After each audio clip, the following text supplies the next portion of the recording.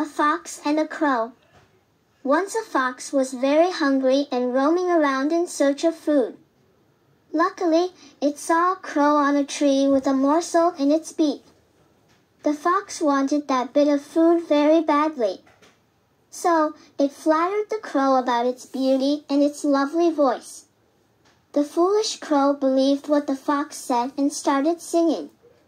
The bit of food that it held in its beak fell to the ground and the fox ate it up. The fox laughed and said, I may have praised your voice, but I said nothing about your brain.